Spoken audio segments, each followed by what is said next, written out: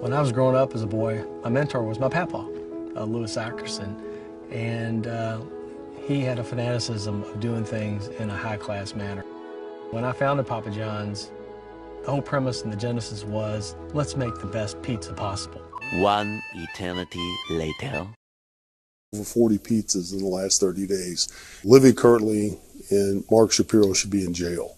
He has no pizza experience. He's never been in the pizza category. 12 seconds later. Who the hell are you?